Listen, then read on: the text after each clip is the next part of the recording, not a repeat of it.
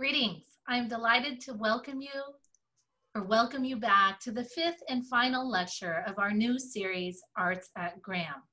The theme this week is music.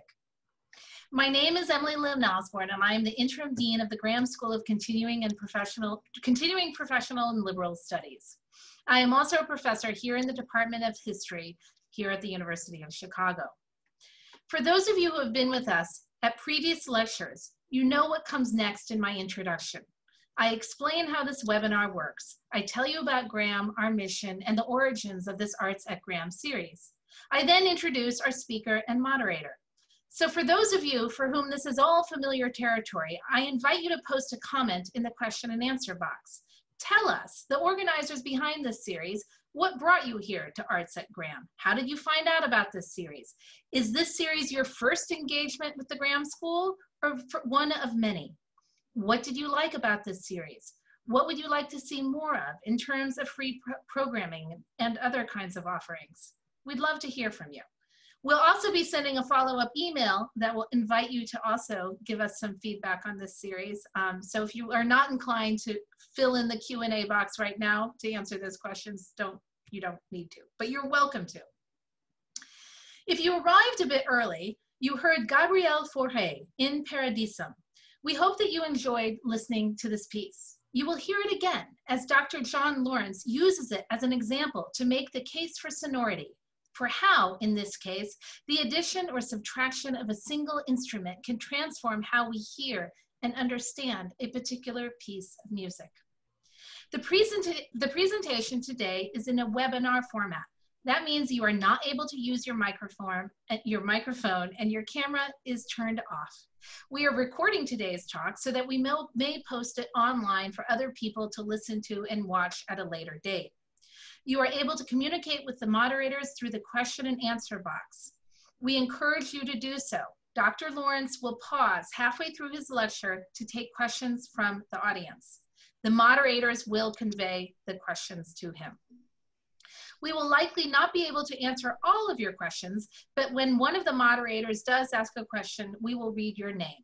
At the end of the talk, there will be further question and answer, and we will also delve into the assignment, which was on the website, if you were able to get to that. But if you weren't able to prepare the assignment, don't worry. There will be room and space for everyone to be able to participate. As many of you know, the Graham School is dedicated to connecting with curious continuing learners, which we do through a, through a variety of classes and offerings. Today, I'd like to tell you a little bit more about the BASIC program, which is our Great Books program. Students are guided by our instructors who are gifted in the art of discussion as they delve into classic works of philosophy, politics, economics, and literature. The basic program is a four-year certificate program, and part of its beauty lies in the fact that people are there because they want to learn, because they want to engage and contribute to a community of learning that is dedicated to critical thinking and reading. There are no grades and there are no papers. What's more, we have cohorts of people who have completed the certificate and they continue on with our alumni sequences. We have groups of people who have been doing the basic program in some shape or form for years, even decades. So if this sort of intellectual camaraderie is something that you think sounds intriguing, if perhaps a bit daunting, I really encourage you to attend a sample discussion. Dr. Kendall Sharp will be leading a discussion of Lincoln's Gettysburg Address on Thursday, September 17th. There are two times, 9.30 and 6 p.m. Please join us. And I'll add further, people come to this program from all walks of life. Sometimes people who studied these things in their youth but didn't appreciate great books and all the insight and perspective they offer. And other times people come to the program because they never had such an opportunity before. It is Graham's commitment to humanistic inquiry that helps gave rise that helped give rise to this series. It is no longer possible to go to museums and concert halls as we once did. Here at the University of Chicago, U Chicago Presents, which typically brings our community concerts and performances of chamber music, jazz, contemporary, and world, music, and world music, has had to pivot. Its website is now home to a number of archived performances. Earlier today, I was just watching a conversation with Anthony McGill, the principal clarinetist of the New York Philharmonic, with Professor Tom Holt, a historian here in the department, in my, a colleague of mine in the Department of History. So likewise, we take the equation, the occasion to both celebrate music and learn more about it today with Dr. John Lawrence. Dr. John Lawrence is a humanities teaching fellow at the University of Chicago, where he earned a PhD in music history and theory in just now in 2020. He has previously taught at the University of Notre Dame and at the University of Illinois at Chicago. He is a reviewer for the Chicago Classical Review, and he frequently pre presents pre-concert lectures for the U Chicago Presents concert series. His research focuses on performance analysis, theories of meaning, and musical form in the long 19th century. His work has been published in the Journal of Music Theory. This year, he will be teaching philosophy courses in the humanities core, as well as courses on music criticism and analysis. Another introduction is also in order. My fellow moderator is Adriana Obiols. She is a PhD student in art history, and her research focuses on 20th century Latin American art. She is passionate about public arts programming and is supporting the Graham School this summer and fall as a graduate intern. And I will add, it's been a pleasure to get to know her and to work with her. I would like to tip my hat to two other people who are behind the scenes here. So uh, Jan and Gus, get ready please to show your faces. Uh, Jan Watson is the Associate Director of the BASIC program. She is also an astute observer and counselor and has been a wide guide to, guide to us all through this webinar. The other person who has helped us tremendously with this process is Gus Moss. Gus is a program manager of liberal programs here at Graham, and he has really taken on the task of managing the series and its back end, as we always say, from start to finish. I am happy for Gus, but sad for us. In just a couple of weeks, Gus will be moving on to start a master's program here at the Social Sciences here at the University of Chicago. We will miss him here at Graham. And with that, I will turn the stage over to John Lawrence. Uh, good evening, everybody. Thank you so much for joining me for my lecture this evening. And of course, a great thanks to Emily and all the folks at the Graham School for inviting me to deliver this lecture. Uh, let me set up my slides. Okay, hopefully you should be able to not merely hear my voice, but also see my title slide. Let us begin. Imagine this possibly familiar situation you are driving your new car and you decide to test the radio. You begin flipping through stations, searching for one you like. You stay on each station for a couple of seconds at most, but this is long enough for you to discern what style of music you're hearing. You aren't consciously analyzing this music, but each time you change frequencies, an awareness of the new station's style and the wealth of cultural associations that go with it floods your senses entirely involuntarily. This is a commonplace occurrence, but one that is not easily explained by conventional approaches to music education.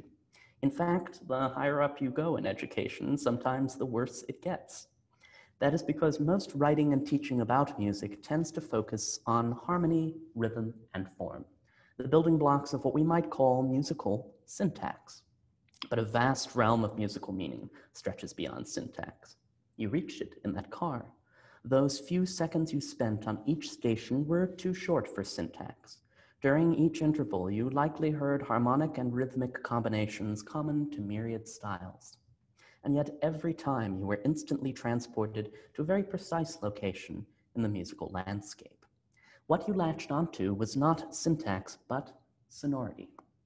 There are two main components of sonority that we're going to talk about this evening, timbre and balance. Timbre is what's left over in a sound after you take away pitch and loudness. In other words, it what, it's what allows you to distinguish uh, a violin from a flute, even if they're playing the same exact note, or my voice from the voice of your best friend. You can probably see already how this carries a lot of cultural meaning, how the timbre of a voice helps you immediately distinguish an opera singer from a pop singer, or an electric guitar from a flamenco guitar, or 18th century organ music from gospel organ music, and so on and so forth. Our second element, balance, is the relative loudness of different sounds. You might imagine something like a sound engineer's console or mixing board, knobs and sliders, allowing you to manipulate each individual instrument. It might also be clear to you why a certain sound balance is a precondition for the perception of meaning. For any individual element to affect you, it has to be audible and the relative audibility of different elements might cause you to draw conclusions about how they relate to each other or which one is more important. As I say, these two parameters are the main components of what I'm calling sonority. And sonority is the sound of music in the talk's title, not the Rodgers and Hammerstein musical. Apologies to any of you that were lured here under false pretenses.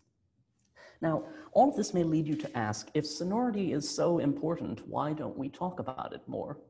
And the answer is that music studies tend to exclude sonority due to a mixture of philosophical conviction and practical convenience.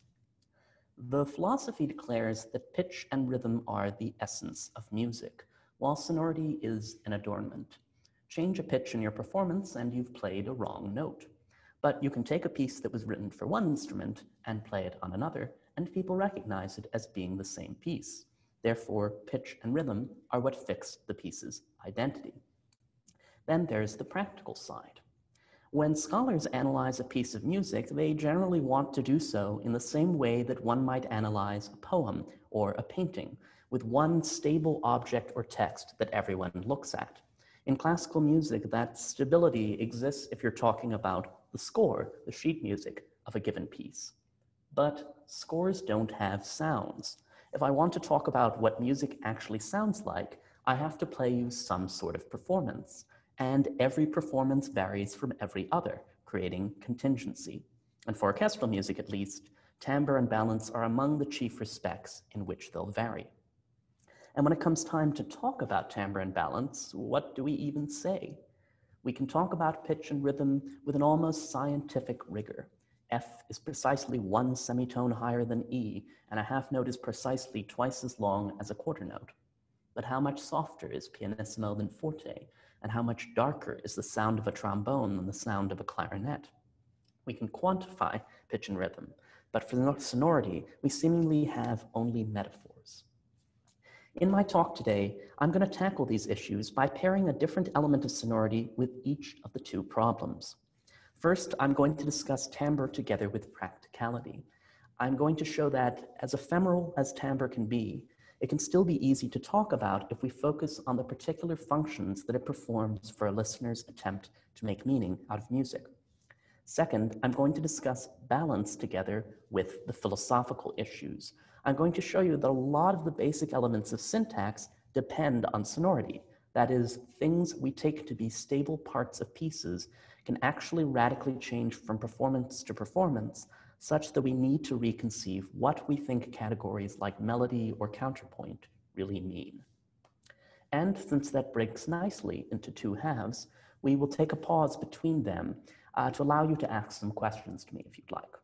Now, all of our examples are going to be drawn from 19th century classical music, since, as Emily mentioned, that happens to be the main area that I study but I could have given this lecture using examples from many other styles and time periods. If you're curious about how this would work, please feel free to ask me in the question period. Okay, let's start with the first of our two topics then, timbre. In order to understand how you process timbre, we need to first discuss how you process music or sound in general. Any piece of music is a giant mass of sonic information, individual tones flitting about in the air. In music cognition, the technical term for this is an auditory scene. As a non-musical example of a scene, you could imagine a busy restaurant, if you remember what those are like. There's the clink of glasses in the background, there's the people at your own table talking, maybe you can hear some of the people at the other table or a waiter. In order to make sense of all this sonic information of this scene, your mind needs to separate everything into comprehensible units. So here I'm going to introduce some technical terms to define these mental tasks. One task that your brain is performing is separating the sound into lines that flow across time. This vertical separation is called stream segregation. This is like taking a braided rope of sounds and unbraiding it into a series of threads that can be followed separately. So in the restaurant analogy, This would mean hearing a series of words and understanding that they are being spoken by the same person. That is, if you close your eyes and if the people are sit, seated in a similar uh, part of the room, the way your mind is figuring out who's saying what is you're isolating any individual voice by noticing noises that seem to have approximately the same timbre and volume, just the same task that you're doing in the musical cases we'll examine. Uh, so another task, oh, sorry, uh, and I forgot to, there's the name for it, stream segregation. uh, the, uh, the other task that you are performing is deciding where formal units begin and end. When dealing with speech, this might involve hearing which syllables make up a word, which words make up a clause, and so on and so forth. In music, this might mean what constitutes a phrase, a theme, etc. This horizontal separation that you see on the screen is called formal segmentation. So the previous one was segregation, this one is segmentation. So if we stick with the metaphor I had before of uh, the thread, after you've unbraided the rope and you have those little individual strands, you're now cutting that strand into segments. In addition to separating the music into its component parts, which were the two tasks I've just covered, you also need to develop a sense of how these parts fit together, which means applying mental categories. And we're going to call that conceptualization. Now, you may notice that I'm describing all of these things in quite perceptual psychological terms. This is rather unusual uh, when talking about musical meaning most people would treat these structures as already contained within a piece of music rather than as something imposed upon music by a listener. The listener is treated as the receiver of information already encoded in the musical score. That's why ear training and music appreciation classes, if you've taken them, are taught the way that they are to make people become more perfect receivers. Uh, this is what I, in turn, want to begin to train you out of. I want you to come to a perceptual perspective that thinks that all of these things are added by your mind to the sounds. So to see the effect that timbre can have on this process of perception with real music rather than laboratory conditions, I'm going to use a passage from the last movement of Fauré's Requiem, uh, which is the music that you were hearing if you arrived early tonight. I've chosen this particular piece because there are multiple editions of it, and in one of them, Fauré added an additional instrument.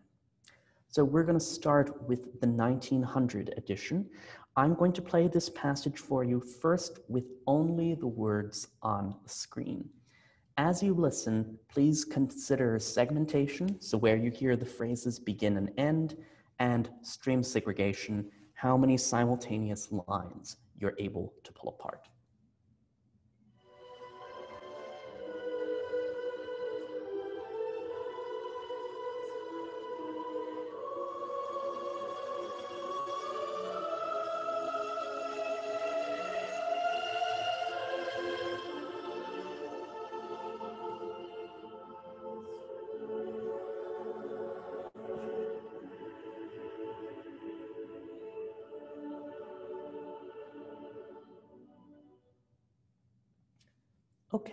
Uh, let's start with segmentation. I've cheated perhaps by the way I've placed the line breaks on the screen because that's exactly how my mind at least segments this passage. There are four phrases, or, um, each of them corresponding to one of the lines of text as I put it. Now to discuss stream segregation, uh, we may wish to look at the score, which I've now put on the screen. Now for those of you who are not used to reading scores off a screen, don't worry. This is a visual aid for those of you that are comfortable with reading music, but it isn't strictly necessary for those of you that aren't. It's just there uh, as a visual aid. So, uh, of course, the sopranos who are singing have their own stream for most of the passage since they're singing the main text and the melody throughout. And I feel the rest of the choir has its own stream when it's added at the very end. But what about the accompaniment? If you told me to and I really concentrate, I could stream the upper part of the organ and harp, the, the lines going da da dee dee da dum. I could stream that separately from the rest of the accompaniment instruments. But if I'm honest, most of the time, I collapse them into one mass of background lines, not really plucking anything out of this to follow. So I'm following the soprano, I'm hearing the orchestra as one massive background, and then I'm paying attention to the choir when they enter. Uh, as I stated before, this was the passage in the 1900 version. We're now going to listen to this music again in the 1893 version. There are lots of little changes to the string parts. You don't need to pay attention to any of those. But most striking of all is the addition of a new timbre, which does not appear anywhere else in the movement. This is provided by two French horns. Uh, so let's listen to what they add in Philippe Herreweghe's recording of this passage.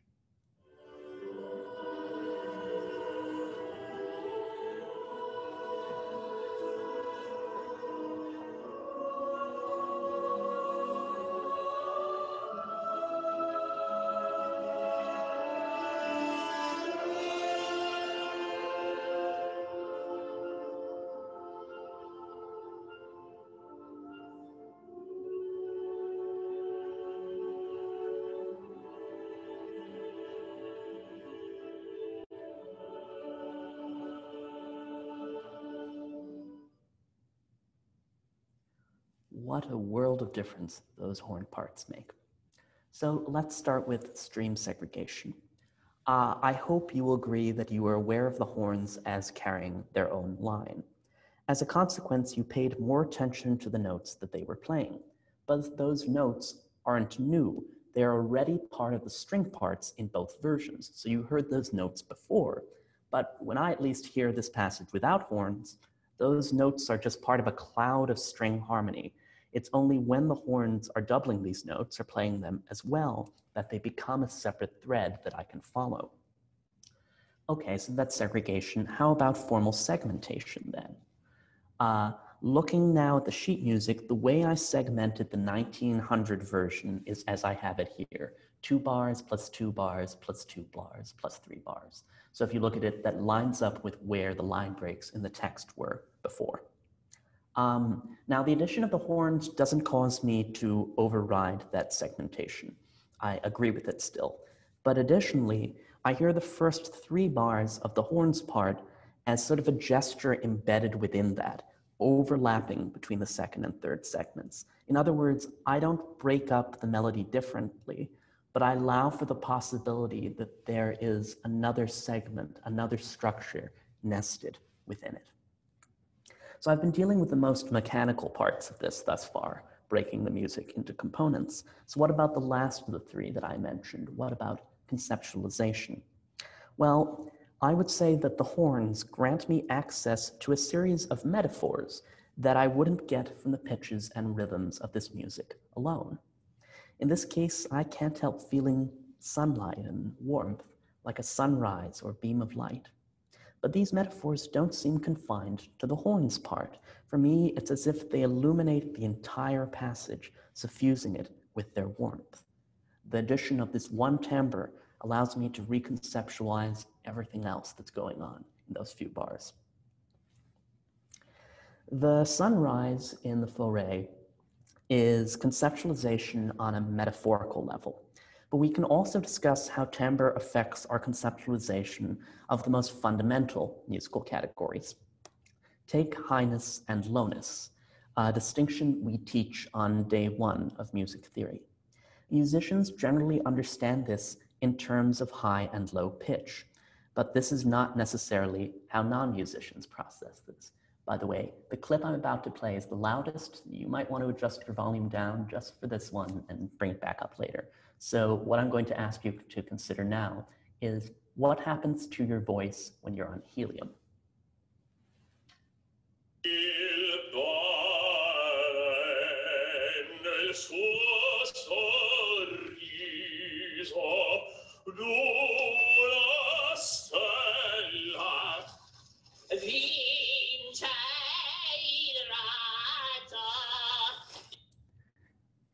Uh, you could adjust your volume back up now. so if you ask most people what's going on here, they'll say, oh, his voice got higher. That's what helium does to your voice. But actually, he finished singing the passage in the same key and at the same pitch level, what got higher is not pitch, but timbre. So for non-musicians, highness or lowness as a concept is often a matter of both pitch and timbre. And cognition studies bear this out. If you play non-musicians two different pitches with the same timbre, so for example, on the same instrument, they correctly assess which note is higher. But if you play two different pitches with two different timbres, such as on two different instruments, their accuracy goes way down. They start getting confused about which note is higher in pitch because timbre starts interfering with the way they perceive this. Um, I'm going to give you one more example of conceptualization with fundamental concepts. The first half is drawing to a close though, so if you, if you have questions, get those at the ready. So besides highness and lowness, uh, consonance and dissonance are another example of phenomena in which timbre plays an underappreciated role. Now, classical musicians determine these concepts according to the presence or absence of certain intervals, that is, the distance between notes, with some intervals sounding more pleasant and others sounding more discordant. And you know this if you've heard a major chord and you think, ah, that's rather pleasing. Whereas if you just slammed your hand down on the piano and hit a random cluster of notes, the intervals of that are not so pleasing. They create dissonance. But besides intervals, some scholars believe there's also a property called sensory dissonance, uh, which is created by the roughness of overtones interfering with each other. And this roughness differs according to factors besides just intervallic content. So here is an example to consider.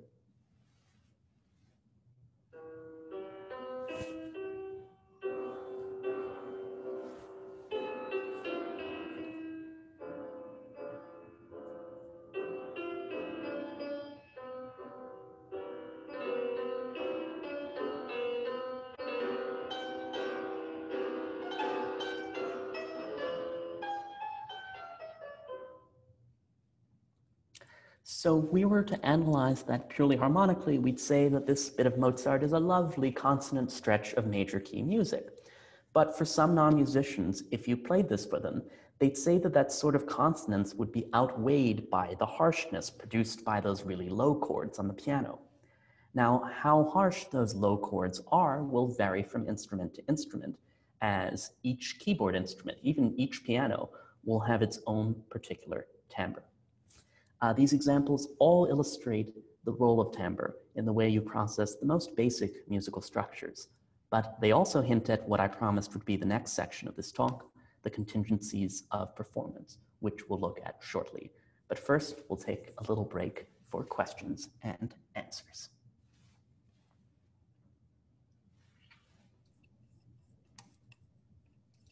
Hello. Wait. Can you hear me? Yes. Yes, Emily. So we did have a question that came in right before you started giving your last two examples. And it's from Michael Hill, and he asked for a few examples of pure timbre. So would that those two would particularly the first one with the helium, would that be an example of that? Uh, so what do you mean by, uh, I'm not sure necessarily what he means by pure timbre. Um, Sorry there are people saying uh, people say things like sine tones um, have in some ways the the purest timbre because they they lack the differences that different instruments have according to the overtone series that they produce. Uh, so that might be if he's talking about the concept of a timbre being pure, that might be one way of understanding it. Or I suppose the question could also mean what is an instance of only timbre being varied? That is, it being isolated while everything else remains the same. Uh, the helium example is pretty good. Um, so also are singing a note and just changing what vowel sound you make. So like holding a note and going ah, we, uh, all of that. That is changing pretty much just timbre, and that can also have pretty radical effects. I think even there has been some late 20th and early 21st century classical music that's played around with the way that um, vowel sounds produce timbre. So that would be another example of controlling it and varying only the timbre. Or you could take uh, multiple recordings of the same piece where you're hearing the same instrumentation and it's a different soloist and you, you can hear that difference. Adriana, do you want to? Yeah, uh, thank you for that explanation. Um, I was really interested in your uh, first example about the car radio and how we were able to recognize um, the different genres of music instantly. And I was wondering if you could talk a little bit about how that relates to, I believe, uh, conceptualization is what you called it. Mhm. Uh, yeah, um, and like how how we put um, segmentation, segregation, and conceptualization together uh, in that example. Okay, great. I just want to add that David Lee just wrote in with a question very along those lines that how long does it take people to do this and how conscious are they in terms of identifying the style of music on a radio station, for example? So Okay, a series of excellent questions. Uh, so I would say segmentation and uh, segregation happen over a decent period of time. Uh, I mean, certainly for segmentation, in order to cut it into chunks, you have to hear the things that you're going to cut into chunks. Um, uh, segregation can happen relatively quickly if you hear you're picking up multiple lines. As to conceptualization, yeah, genres are very much conceived as concepts, the concepts which are not naturally created, that are created through marketing and through culture. Uh, and certain genres of, of a singer and styles and mu- of music, in fact, cultivate their personal identity very much through timbre. It's much easier to do that. There are only so many chord progressions in the world that you can write, especially within something that's more harmonically limited like contemporary popular music. But you can immediately brand your own voice as distinctive so that you can hear it like that. In terms of how long it takes, um, there have been studies that work on people recognizing a song from the first chord. And yeah, they can do it. They, they really can often do it, but it will rely precisely on, on, on timbre and spacing and something being somewhat unusual. It's not like they go, aha, C major, only one piece uh, begins with that. Thanks. Um, we have a couple more really good questions uh, coming in from the audience. Um, there's one from um, Marie Greeny, who asks, uh, you gave examples of darkness, light, warmth, even sunbeams. What other kinds of vocabulary do musicians use to describe timbre? Oh, um, very, very good question.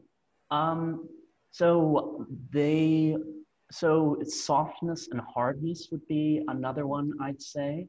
Uh, you can hear people talking about sounds being dry or rich. Um, when you talk about vocal timbres, people sometimes associated with imagining what would happen to your voice in order to produce that. So you hear someone's voice being smoky, literally because they associated with what smoking does to your voice. You hear terms like gravelly. Um, but it's all it's all quite interesting metaphors. And you notice almost all of these don't necessarily inherently have anything to do with sound. We're so much worse at describing sound precisely than we are at describing necessarily things that we that we touch or we see. So part of conceptualization as we're talking about it is not only applying categories that are unique to music, but uh, categories that are cross-modal, that are borrowed from other senses and that make music a synesthetic, a multi-sensory experience, even for those who don't have literal synesthesia. That's really interesting. We have another, do you want another one? Sure. I mean, uh, let, let, let's uh, let's take one more, then I'll do the second half. And if some of these still linger, I'm happy to address them after we do Okay, so we have a question from Jordan. Okay. Does musicology's relative lack of attention to sonority stem at all from the field's historical focus on certain genres of music in which sonority is less salient?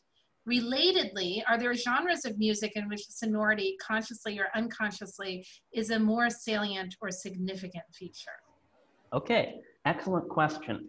Um, so part of what I'm saying with the practicality uh, is certainly linked to his question. That is, if you need to circulate that text that everybody can uh, can read and talk about it the same way we analyze a poem, then you're naturally going to focus on the elements that are easiest to read off a page. And sonority is one of the hardest. You really need to be listening. Whereas harmony or rhythm, you know, we, we can just follow it along you can read chords and you can read rhythms. Um, he, he's absolutely right, though, that music analysis focused on a certain period of 18th and 19th century music where, where I would argue in my work, sonority is very important, but but you can get away with not talking about it. Um, sonority becomes increasingly important in the 20th century, especially when a lot of classical music is no longer tonal. Uh, the sense of closure, aha, this phrase has come to a close. You can no longer rely on chord progressions to naturally do that. And so um, a lot of elements of sonority need to do that work for you. Uh, so that would be an example. And as we were saying, with popular music, it, really, really matters for guitarists, for vocalists, things like that. Uh, so thank you very much for all of those questions. I guess we'll go to the second half. And this doesn't mean that if you have questions at the end that relate to the first half, you, you can't ask them. You know, please uh, feel free. But we'll be addressing more of those then. All right, let me get my slideshow going again.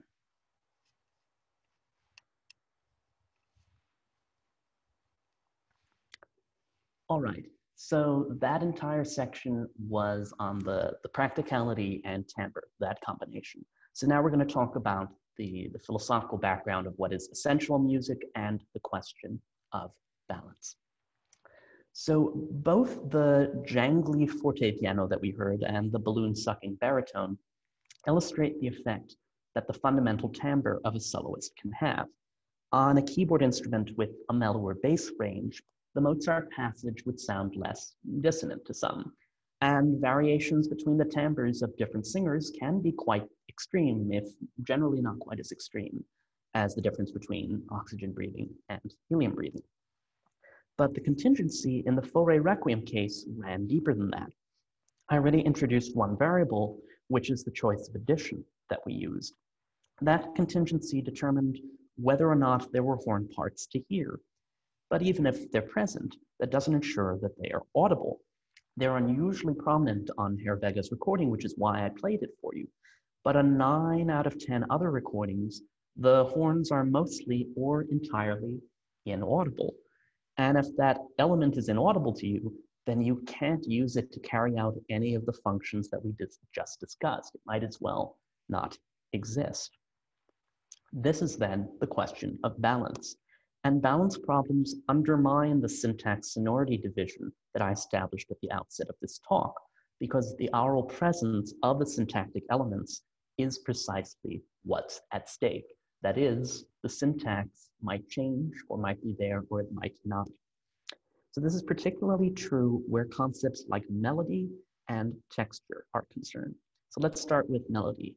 Uh, think about this for a moment. If I asked you, how would you define what a melody is? So you might say it's the primary line. Okay, not bad, but what makes it primary?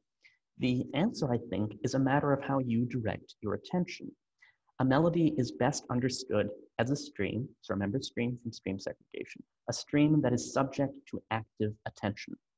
This is a perceptual definition, uh, and this perceptual framing can also be applied to texture, uh, which is a concept that overlaps quite a bit with scene that we reviewed earlier in this talk.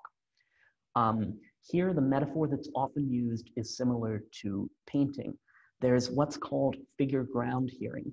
Uh, we saw that actually in the first recording of the Fauré where I said I heard the soprano and then I heard all of the accompaniment leading together. So it's, it's like looking at a painting and there's one figure that you're paying attention to and everything else is in the background. You know, some of you, for example, might not remember what's behind Mona Lisa. So that's figure ground uh, mode of attention. And that produces what is sometimes called hom homophony, homophonic listening. Um, but sometimes you perceive more than one of the streams that are going on as melodic, like a painting with multiple figures. And that, I'm going to say, is polyphonic listening. And you can see the little cutesy diagrams uh, there. In the first one, there are those two streams, but the, the person's following only number one, as you can see from the arrow. And in the second one, they're following both. So balance affects all of these processes. So let's look at a few examples. Here is a passage from Chopin's Andante Spianato. The right hand is spinning out a series of sextuplets, groups of six notes. But few pianists treat these notes as equally weighted. Some of these notes make up a melody that's embedded within all of that passage work. But which ones? Those of you who are accustomed to reading music might see some hairpin marks above the right-hand part. These might seem to propose streaming the middle two sixteenths of each text sextuplet as the figure and the rest, the other four, as the ground. So you can see that with the notes that I've marked in red on the screen. So if I played it evenly, that would be one, two, three, four, five, six, one, two, three, four, five, six. Whereas streaming those as the, the figure would be one, two, three, four, five, six, one, two, three, four, five, six. And that's what I think Claudio Arrau tries to realize in his, his recording, which I'm about to play. And if you lowered your volume for the, the helium example, uh, turn it back up for this one.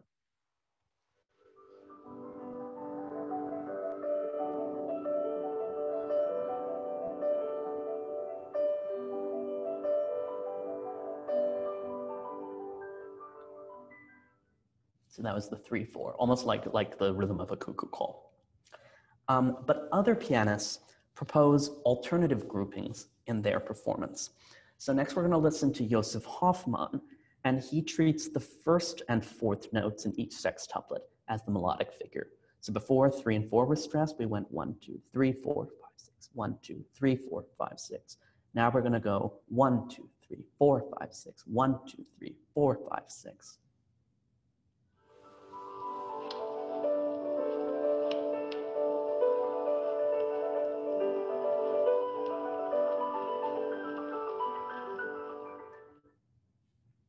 Okay? And a third performance, Shura Cherkassky, treats only the fourth note in each group of six as the melodic figure. So it's almost like you have this little stream running along and then you get these droplets of melody here and there.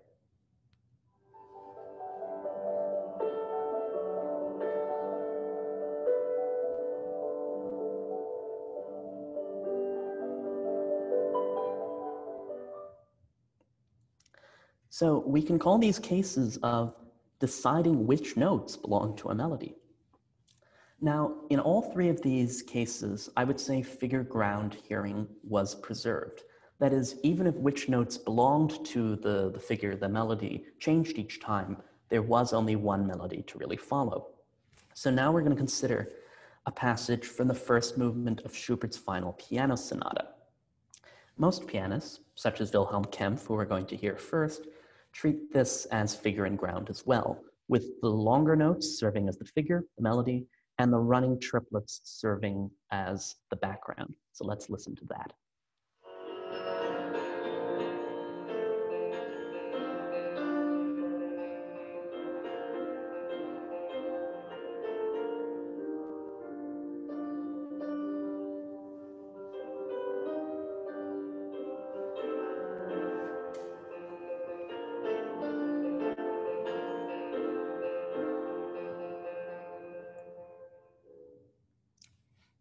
So that was, that was for most people, I would imagine, figure and ground. But now let's consider with, uh, what Vladimir Horowitz does with this passage. So he notices that within those running triple figures in the left hand, you can pluck out some notes, and if you pluck them out, they make the same melodic shape as part of the main melody. So I've, I've marked this as X with red notes. By playing those notes louder, bringing them out in the balance, he can therefore create the impression that this passage is imitatively polyphonic. That means there's a dialogue between two versions of the same melody. So let's hear that.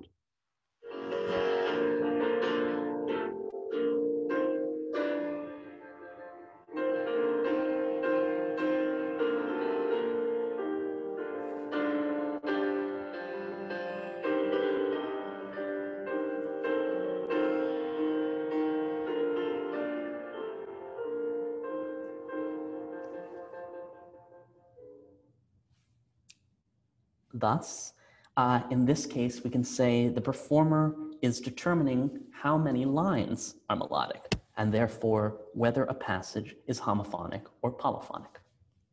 Now, not all polyphonic textures are made alike. In many, one voice is the lead melody and another is the counter melody. In the Schubert example we just saw, I think most people would say the lead was the upper line, but sometimes it's more ambiguous.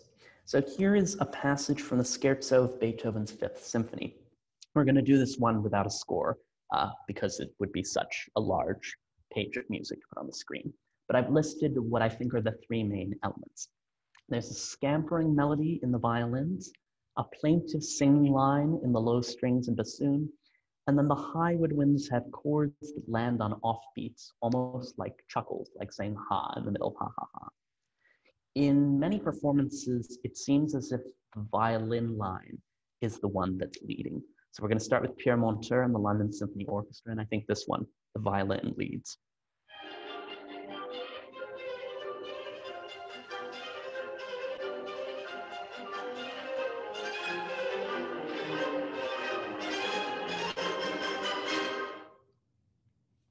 Okay, but on some recordings, or in some performances, I should say generally, there is little doubt that the lower line is intended to be lead melody, at least at the beginning before they trade roles. So here is Lorin Maazel with the Vienna Philharmonic.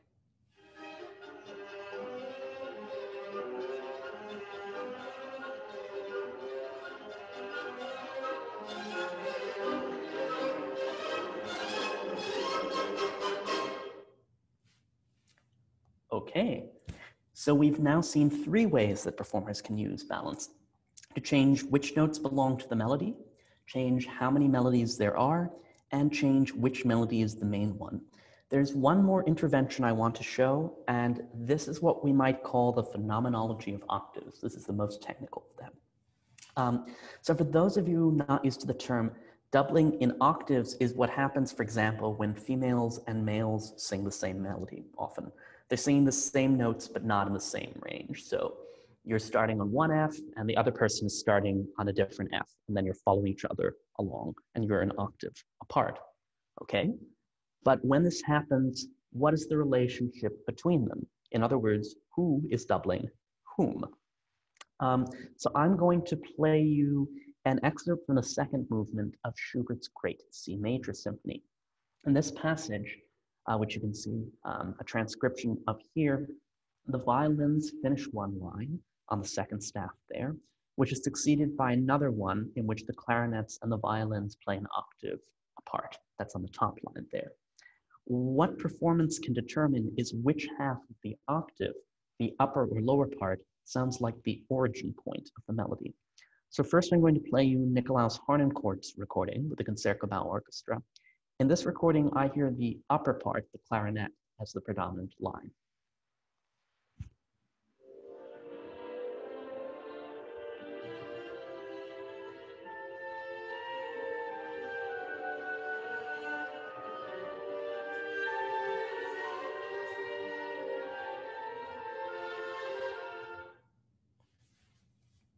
Okay, now I'm going to play you Ivan Fischer's recording with the Budapest Festival Orchestra. In it, the melody stays in the same octave the entire time. It's passed off from violin to violin almost in an unbroken line. I barely hear the clarinet as a clarinet. It seems as if it's just the first overtone of the violin part, or you could say almost the violin's shadow.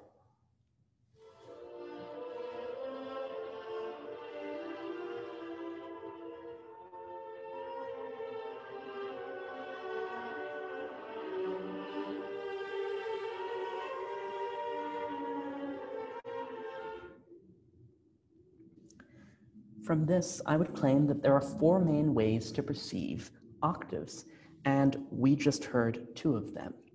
One is to say x is doubled above by y, as in Fischer's recording. Another is to say y is doubled by, below by x, as in Harnoncourt's. Two others would be to say that x and y move in octaves, so they're two, two equal partners moving an octave apart. Uh, and another would be to say there is only one moving entity, xy, and it's an octave thick. So you can imagine like a right hand moving in a thick octave. Now, let's say I were to ask you, which of those four descriptions most accurately describes experiencing this passage from the symphony? I hope that this question now strikes you as ill-formed, maybe even naive, because we've seen how much this varies with performance. Consider the issues we've just covered. Which voice is a melody, counter melody, or a mere background voice? Most approaches treat all of these elements as stable properties of the work itself, as fixed elements of syntax. But the performances we've listened to falsify that notion. Interpretations that assume a stable piece cannot cut to the core of the piece because they're mediated by assumptions about what the piece will sound like, which a text cannot fully determine. Any discussion of musical meaning is an interpretation of an interpretation. That's an uncomfortable reality for people who want classical music to be about masterworks, rather than about the experience of masterworks as played by musicians or understood by listeners. But for the vast majority of people who come into contact with this sort of music, that's how meaning is, in fact, created. So, to conclude this presentation, I'd like to briefly review what we discussed today and then consider what lessons we can take from this going forward. I explained the tendency of music scholarship and pedagogy to focus on musical syntax to the exclusion of sonority. I focused on two components of sonority, timbre and balance. I used them to counter two prejudices against sonority, the practical objection that it's difficult to nail down and analyze, and the philosophical objection that it's not an essential feature of musical pieces. So there are indeed ephemeral aspects of sonority, there is no way to, uh, there is no standard way to measure timbre and balance. That is why I proposed shifting from discussing what sonority is to discussing what it does to us and what we can do with it. That's our first takeaway then. One way to start talking about sonority is to analyze its function, uh, which mental tasks it allows listeners to perform. Taking this approach leads us to our second takeaway. Many musical categories that we think of as belonging to the material domain of a piece of music are actually perceptual properties of how you, the listener, are listening. Third, if we want to understand perception, we need to study actual performances because it's performances that most of us react to when we listen and not some unmediated sheet music. We need to stop regarding scores as the only text and performances as something less than that performances are texts in and of themselves. And finally, analyzing sonority is not merely viable, it is necessary. I haven't talked to you about why sonority should matter, but really about why it already matters to you, even if it doesn't necessarily to scholars. Uh, the concepts that are affected by it, segregation and segmentation, highness and lowness, consonance and dissonance, melody and accompaniment, homophony and polyphony, these are some of the most fundamental to music, period. I take it as a given that if we admit something is fundamental and we can build the tools to research, teach, talk about it, listen for it, then that's exactly what we should do. And I hope that what we did here tonight can be either the beginning or the continuation of your own journey in doing just that. Thank you very much for listening.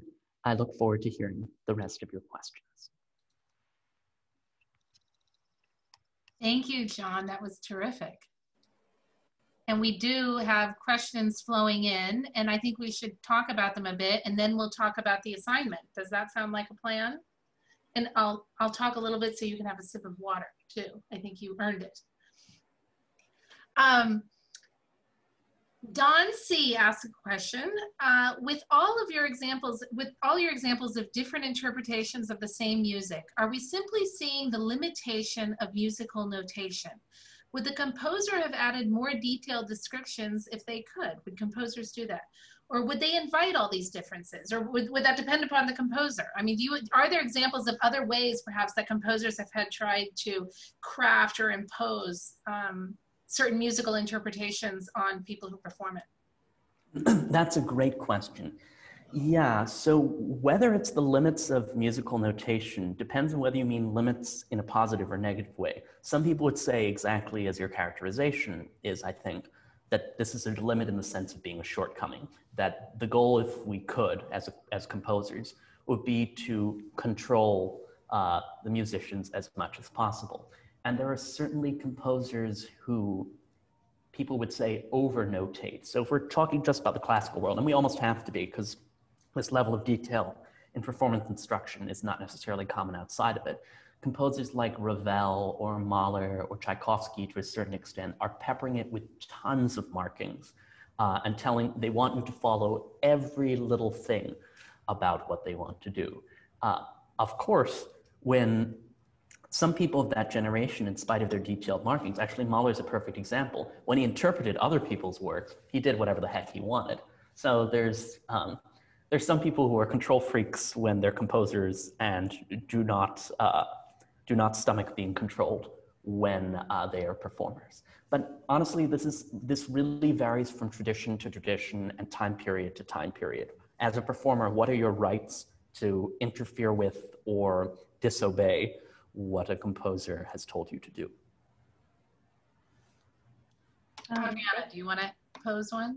Yeah, we got a couple of questions from the audience that were along the same lines. So we're going to be combining those, but um, basically, people were asking whether our environments and therefore our familiarity with certain styles of music um, makes it easier for us to perceive their uh, all of these qualities, their syntax, the mel- melodies that are there, uh, makes it easier for us to listen in different ways, polyphonically and homophonically. Um, yeah. Absolutely, that's a great question. So in this talk, you know, I, I, have to rely on my own experiences or I make some generalizations about I, what I think yours might be in response to this. But some of my own research is about the difference between possible ways of hearing. So all of these contingencies and differences exist not only in the gap between the music and the performance, but between the performance and you.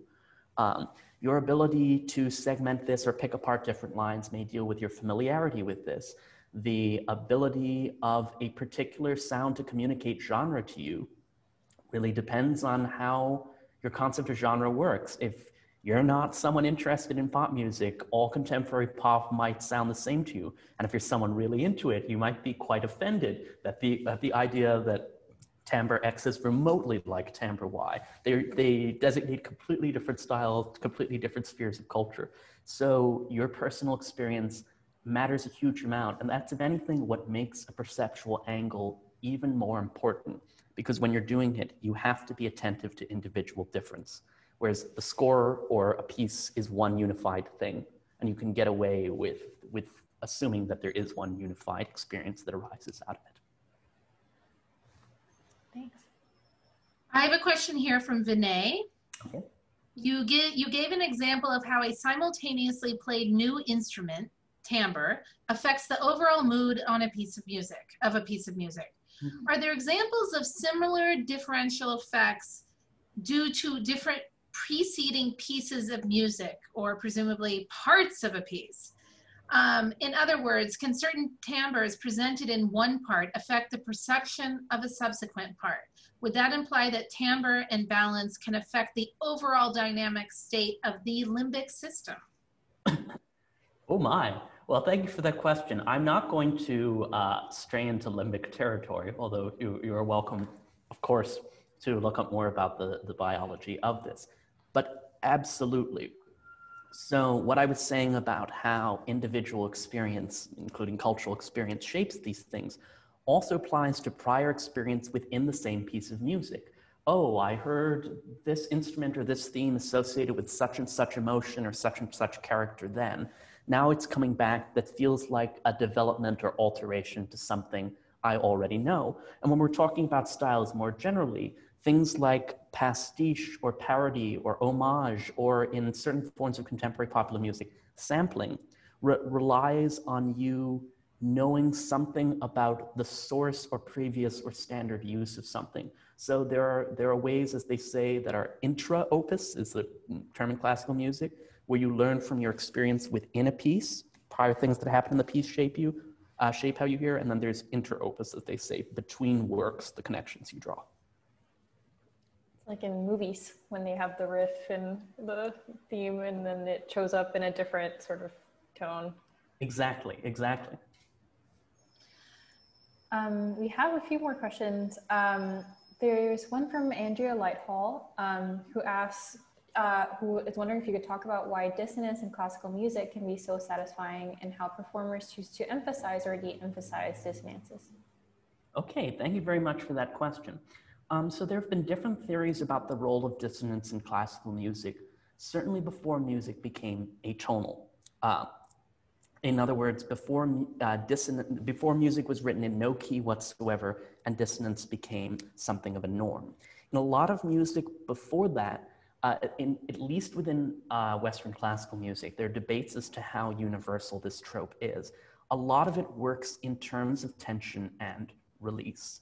Um, you make uh, you make someone desire the resolution of a particular dissonant note or chord. Like, ooh, this creates angst, and ah, finally, what I wanted to happen is satisfied. I mean, it's very similar to asking, what's the point of drama and strife and tension and bad events in a movie or play or story? It's actually very similar, except the difference being in music, whereas in a drama or story in general, there's one main action or plot that runs throughout. Music is a series of micro, little, little dissonances and dramatic events whose tension uh, is released. Uh, for the purpose of uh, getting to the Don Giovanni example, maybe we take only two more? Does that seem fair? I'll, I have one. Okay. Phenomenologically, this is from Hmm. Michael Hill. Okay. If we bracket all of the concepts you have introduced, is there anything left? if we This big bracket, yeah. Um, In a sense, is there music beyond all of these yeah. conceptual designations, or do you, if you start using those designations, then is is that does that does that fully explain music? Uh, so first of all, no, uh, it doesn't fully explain music. That is, if anything, what I did today is almost deliberately a supplement to what I think most music discussions would do. That is, all of the other elements I talked about, harmony, rhythm, form, are really, really important. So if you bracketed out what I talked about, yeah, there's a lot left over. It would be exactly what you're likely to encounter in a music classroom. There are certain questions, though, there are, in, if we're talking phenomenology, I won't get too deep in this.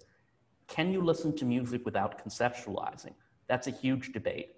That is, whether you can ever just purely listen to sound or whether you're always doing those tasks to some degree, whether or not you're using timbre to do them. And that's a discussion too involved for me to get into it now, but that's something perhaps you might, might reflect on. Um, and I guess our, our last question for now, Okay. um, that is very related to what you were just talking about. Uh, Teddy Knox asks, where lies the core of academic disagreement on sonority? Do scholars disagree on how it's defined or what constitutes it, or just how important is it to study? Okay, thank you very much, Teddy. Uh, so the way I'm defining sonority is a little idiosyncratic. I needed a catch-all term for a lot of the different things that I'm talking about. Most people would disagree with what sonority means, and that to me doesn't matter that much. Uh, the, the sorts of the disagreements are actually more or less the ones I said at the beginning. That is the philosophical conviction that eh, if this varies from performance to performance, it can't cut to the core. Or the feeling of like, eh, this is kind of hard to talk about, and I just want to deal with the text.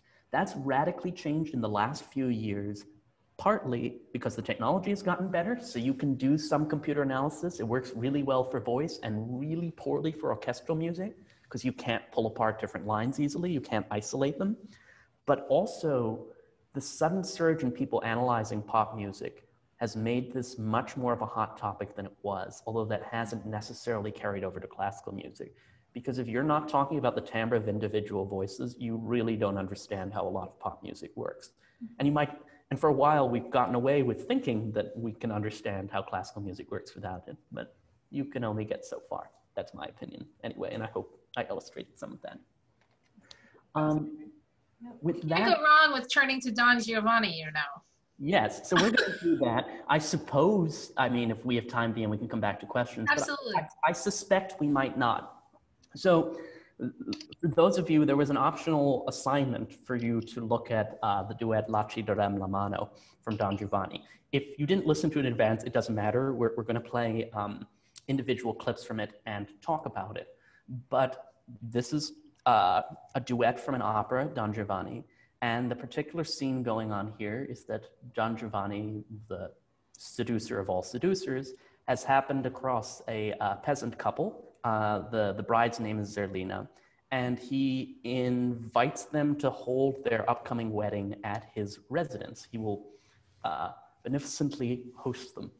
Uh, and he has ulterior motives, which is to seduce Zerlina, the bride. And this is his duet saying, you know, come take my hand, I will lead you to my residence. Um, his intentions being clear to the audience, and maybe clear or not clear to Zerlina. So the question I asked, this being an opera, we're likely to focus on the voices, and that's absolutely right in some ways. But Mozart has taken quite a lot of care in deciding what to do to the instrumental parts. Uh, so actually, you have in front of you the way I phrased the question? I don't recall it exactly. If not, I can more or less paraphrase. Um, I can, yeah, are you there? Can you hear me? Mm-hmm, I can hear you. Okay, consider the question, how do the colors of the different instrumental background lines reinforce, contradict, or alter the meaning of the words being sung? sung? Okay, and so that that is your assignment of sorts at the moment. Um, posted and on there is the, a text um, that is also available on the website. Maybe we should post the website so people can pull up the text as well. Yes. So in the chat, um, and uh, there will hopefully be a link to the website. I have the text in, Italian, Italian and English simultaneously. The Italian they're singing and an English translation. There's also a YouTube link to the particular performance I was using. I certainly hope for your experience you've been able to hear the music very clearly uh, while, uh, while streaming. But if you haven't, you can, instead of my playing it, um, uh, listen to it again on YouTube. So I'm gonna play the very beginning of this uh, duet. And again, listen for what the instruments are doing and, and deliver unto us whatever insights you may have. Uh, I'm gonna play this. You'll let me know, Emily, if you're hearing sound or not.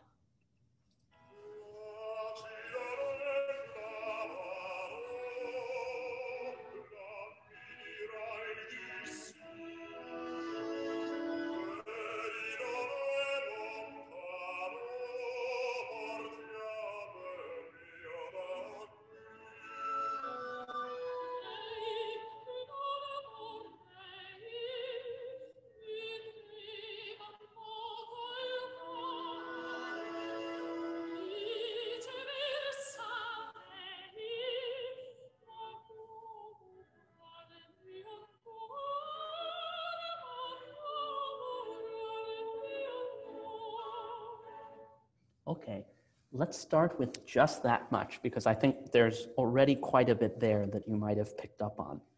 Uh, so please feel free to uh, let us know in the same place where you're typing the Q&A perhaps, uh, what things you picked up on. It could be observation of just details you heard that you don't know how to interpret, or there might be details where you specifically go, aha, this makes me hear X. And hopefully my moderators will, will pass on to me some of the observations that you've made. I think people were so enthralled by the beauty of the passage that they have not put into Okay. words. I, I could I could I could play the beginning of that one more time and, and see what you. So wait, wait, wait. Could you say again the question you want us to say? Say pose the question. Okay, yeah. What are the instruments, the different instrumental colors doing? You know, in other words, how does this differ from when you hear the opera and there's just a pianist accompanying? What is he doing with the instruments? And how does this support, contradict, how does this interact with the meaning of the text? Can you get anything from it that you couldn't get from just the vocal lines alone? So I'll play those two segments again.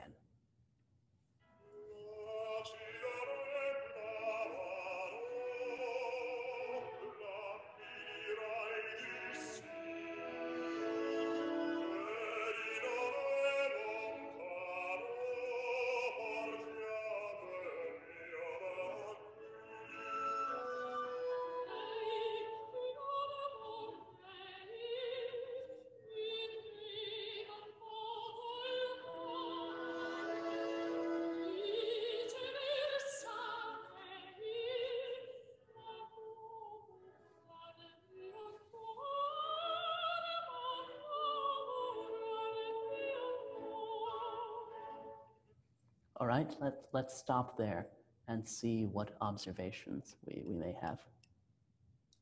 We have a few coming in. Uh, Okay. First is from Stephanie Green, who uh, notes that there is a uh, contradiction in the first stanza. The instruments are tentative while uh, Don Giovanni's invitation is firm. Um, and in the second stanza, which I also noticed that there is a violin tremor with um, Zerlina's uh, Mi Trema, which is um, I tremble. Okay, nice. My heart trembles, yeah. And so the question you might have if you, uh, if you as a listener hear the tentativeness, and some of you might not, is what's creating that? And I assume some of that perhaps is the, the gentleness and the oompa oompa of the strings. At least um, the background there is not as perhaps ardent as we know his intentions are. So that contradiction maybe you could interpret as the, the facade he's putting on, gently, gently. Uh, other comments? Um, David writes, the strings are vamping lightly, suggesting anticipation while the singers sing. During the periods between, there are these little sighs down in the strings. Mm-hmm. Okay, so he's hearing sighs in the strings.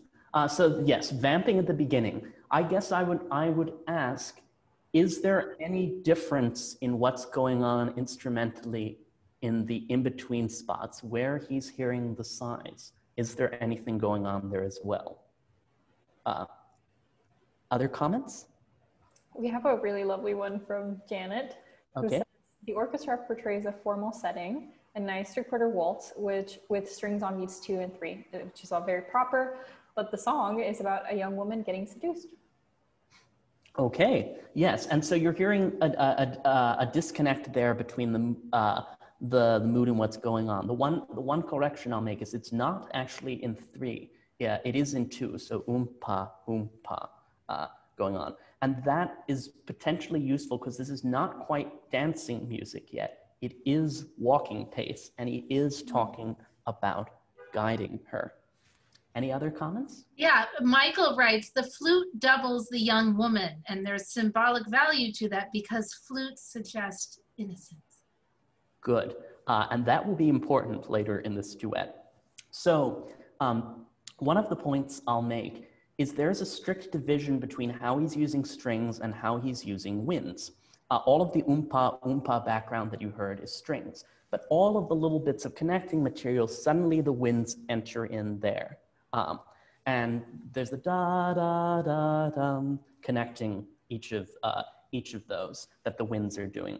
So that, that division of labor affords you, anytime that happens, an opportunity to interpret the winds as somehow different from the strings, um, as performing a separate function. And that's a great point to be making there. That, that wind drawing in doesn't have a flute yet until she comes, um, and that's adding her into that.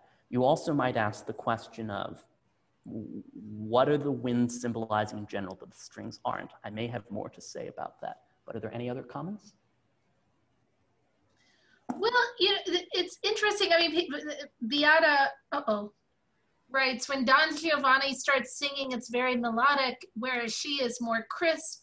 Someone else, Susan, remarks that the female sounds as if she is dancing. So, mm-hmm. right, even here, we're getting different senses of interpretation of the interpretation. Exactly. Yeah. And all of those things you're hearing there are very much dependent on the vocal delivery and to a certain extent, the vocal timbre. I mean, some of it is rhythmic, some of it is other things, but certainly the idea of tentativeness or boldness is, is, is, is being uh, communicated a little bit by uh, tr- things we associate with sounding like, like confidence or like trembling or like being timorous. Things like that are certainly part of it. I'll, I'll point out one other thing. That, oh, yes, go ahead. I mean, I would almost say, and I wonder what you would think about this, but it, it to me the sort of underlying um, the violins playing it, it, it, and the, the the parallel between Don Giovanni's verse and Zerlina. I mean, it's as if the music, it felt to me as if the music is also really trying to seduce her. So it's not just about the words, it's about this repeated motif that comes in both places. Good. I agree very much. And I'm going to replay it from the beginning, except we're going to keep going forward. But I'm going to tie together a lot of these different ideas we have. So a lot of people have mentioned that the strings are vamping, that is playing a repeated accompaniment pattern, so the oompa oompa. And as, as we've already discussed, that's a little bit walking-like. But there's also a sense that the strings are, are remaining more neutral than the winds in this. That is, they're the normal instruments that have less um, explicit commentary to deliver. But what the winds are doing, what David called the sighing, is interesting because uh, for those of you who know how a key works, there's a home note, which is do, as in do, re, mi, do, which is the first note in the scale. Normally, getting to there is like, aha, finality.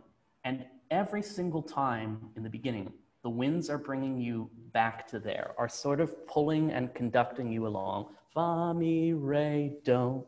And again, they're coaxing you towards that. So there's the, there's the light sort of walking rhythm of the strings, but the actual coaxing is, is happening from the winds.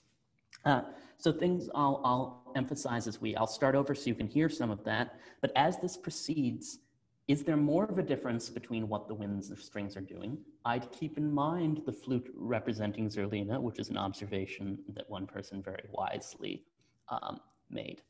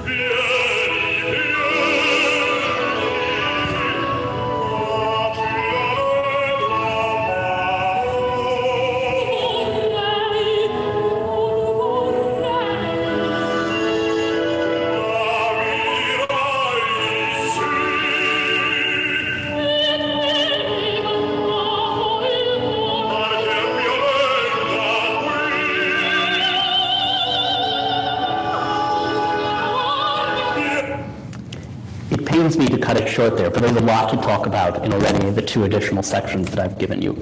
So we'll see if there are any little observations that have cropped up. So we had that, that new section after they both sang, and then we had that section where they're both in closer dialogue to the same music as originally uh, that we heard.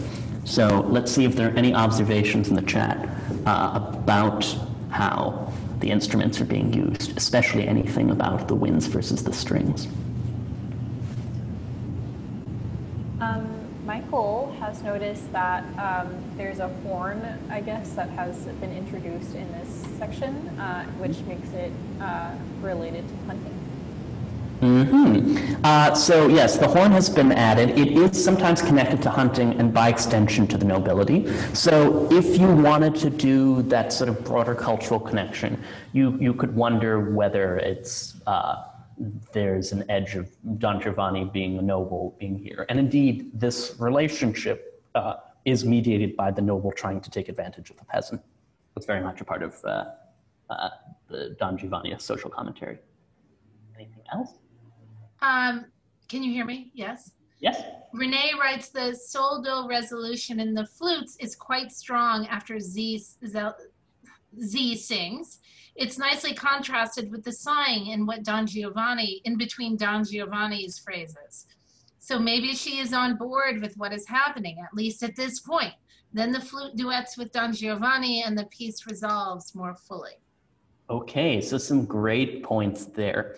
So, first of all, as, as she's correctly noting, uh, the flute immediately when it entered was part of what I was saying that coaxing. So already it's on board with being coaxed. On board is a, is a very good term there. Then you're noticing another thing. When they're coming back at the end, he is paired with a flute. He's singing the melody together with the flute playing a melody. And she, and I'll replay it at, the end, is singing her melody in connection with another instrument, this time a bassoon. Uh, someone noted before, flute, typical feminine instrument because of its highness and the woodwinds. Bassoon is a very typical male instrument because it's the lowest woodwind. Mm-hmm. So um, her reading of that is, oh, maybe she's already on board. That's, I think, an, an excellent reading. You can think of this as saying, oh, we're talking in the imperative, we're talking about the future. You know, come along, maybe you'll submit, maybe you won't. But the music says otherwise. No, no, no. I, Don Giovanni, am already linked to singing with the symbol of you, the flute. And I, Zerlina, am already sort of joining hands with the bassoon, the symbol of you. It, it's a fait accompli. The winds have already told you that. So that's, um, Marie makes that point. When the melody comes up after the first section we talked about, Don Giovanni starts getting doubled by the flute, while Zerlina starts getting doubled by the bassoon reinforcing the idea that he is reassuring her and she is being persuaded. Very good. I shouldn't have even spoken. I shouldn't have anticipated that someone else had, had, had arrived at that exact interpretation. Very good. Stephanie, yeah, Stephanie did as well. She uh, mentions that as Don Giovanni's lives continue, the flute is within the accompaniment as if uh, Zerlina has already joined him. Very nice. Smart crowd. Uh, that, uh, I, I agree very much with that. Um, great. Are there any other observations?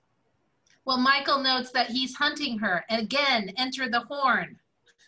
Nice. And the other thing when I replay it is notice what the horns are doing melodically as compared to everyone else. And some of this is just a limitation of the horn at the, at the time. All of the others, uh, the winds either doubled, as we saw at the end, that is playing their melody at the same time, or it coaxed with these lines that sort of descended, as I said, towards the home note. The horns play the same note repeatedly, urge forward, forward, forward. They're just pushing her along. Uh, so that's a thing perhaps to notice as well. It's not merely the instrumental colors themselves, but how that combines with what the actual material they're playing is like. Other observations?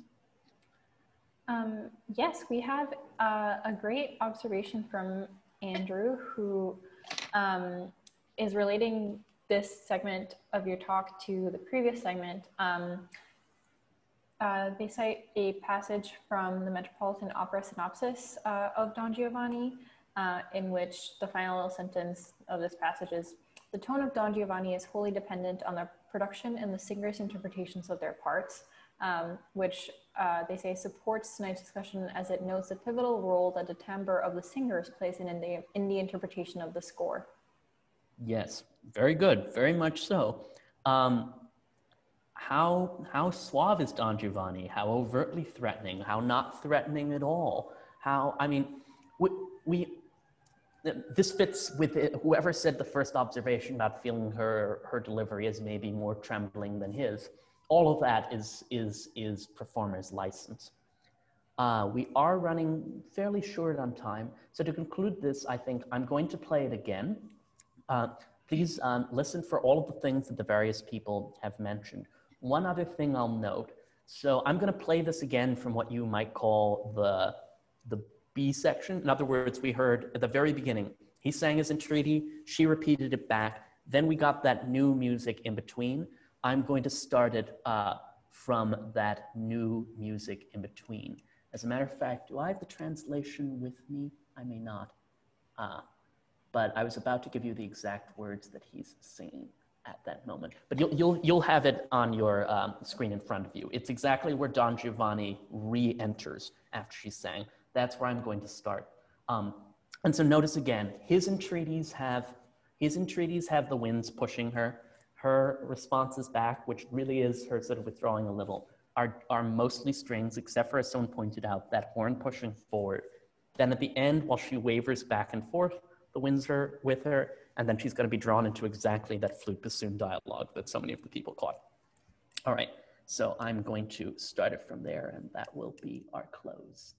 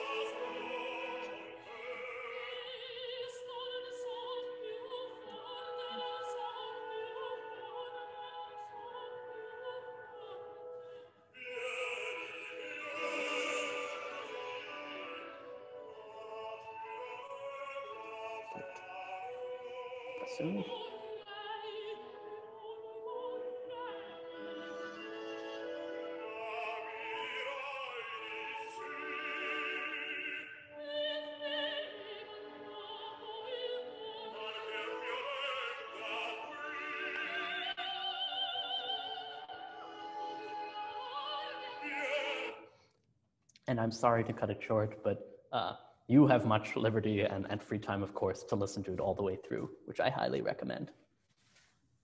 So I have a, a, a final big question for you. You started off by saying you don't want people to be receivers of music.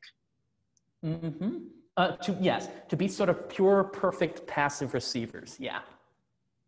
Okay, so if if you've given us a taste of what studying with you, if we were able to have you teach a class at Graham, for example, next summer, I know you can't during the academic year. What I mean, what would what do you want people to walk away from this lecture and from your classes really equipped to do? Okay, so a couple of things. Some of it is to more attentively listen to particular instruments and think what, what they're doing. Some of it is to tap back into your own experience. When I'm teaching in general, I say that there are sort of two goals simultaneously. There are some experiences where you don't want your mind changed, where you're not there to, to become a new person. You're there to understand the way you hear already better. Like, what are the processes that's going into this? What does my mind do? What makes the way I hear the way I hear? So that's part of it. And then the other part is to be open to new hearings. So I hope simultaneously you understand your brain a little better in what it's doing while you listen. And you're also thinking, oh, here are some things I could listen for. But in terms of what we talked about with performance, um, a lot of people think classical music is a dying art. And unfortunately, in an economic sense, it is. Um, but what makes it important to keep it as a living art is not necessarily how great the music, uh, the masterworks are, masterworks in quotation or no quotation, depending on how you feel about them, although that's very important. What keeps it living is the fact that performances will constantly change the mm. meaning of it. And I've hopefully given you some tools to think about that in ways that were more subtle than, let's say, where the production is set or, you know, very extreme changes. There are all of these quite subtle things that are really changing your, uh, that your experience. And hopefully you'll be able to explore more recordings and performances to hear those differences. And hopefully that keeps you interested in seeing different people continually perform some of the same music throughout the rest of your lives. Well, John, we are drawing to a close. Gus, I'm wondering if we could pull up those final closing slides of ours. Adriana, um, well, first of all, John, I really want to say thank you. This was a wonderful, enlightening, and beautifully put together lecture. Um, and I, all I want to do now is go home and listen to Don Giovanni from the start. Uh, so that's that's the sign of a good lecture. Um, Adriana, do you have any final question or remark for Adriana, uh, for John that you want to ask him? John, you don't have to go away. Oh, I don't, okay, yeah. um, no, uh, other than to say thank you so much. I feel like I learned so much about uh, how to listen to music just from this short amount of time listening to you. And it's, it's really fascinating. I'm, I'm very um, happy that you've, uh, you accepted our invitation to uh, Arts at Graham. Yes. And one last, are you a musician? John, are you a musician yourself? What do you play, if so? Uh, I play the piano incredibly incompetently. Um, uh, uh, so I, I, studied to be a, a, composer, trying to control how other people played. Uh, but my own playing is, is, is, is, is not worth hearing. But control or advise how other people? No, I gave a lot of room for interpreting. But honestly, the fact that I don't play that much and I, I was so much a consumer rather than a player made me really aware of how different performances varied. I think people who, I'm, I'm not denigrating playing at all, but people who play a lot sometimes are caught in their own interpretation. Mm-hmm. And I was always hearing the interpretations of others, um, especially since I uh, I study orchestral music and I, I play the piano, which is not an orchestral instrument. So that probably had an effect too. Well, with this, we are closing in on the end, and I do want to thank you, John, thank Adriana, Jan, and Gus, all this behind the scenes work. I also want to remind you to please consider joining us at the sample discussion of the basic program, even if you're, you know, you won't regret turning up for this event at all. I think we have another slide. Those are some related courses at Graham that might interest you. And next one. And then finally, for those of you who have been with us tonight or for also other, um, other previous lectures, if you found it, I know that it's a very trying time in this country economically, and not part of the reason we are doing these free and we're doing them now is to connect with people who may not be able to come and may not be able to do pay for activities. Um, but if you are able to give to help us support and continuing to do these kinds of activity, we would certainly be grateful. We are dedicated to the liberal arts, and as everyone knows, and people in the arts know, it's not a hugely revenue generating enterprise. Um, and we really feel strongly about the importance of connecting with the public. So thank you for your attendance, and we all wish you a fine and productive and safe and healthy evening. Thank you for joining us at Graham.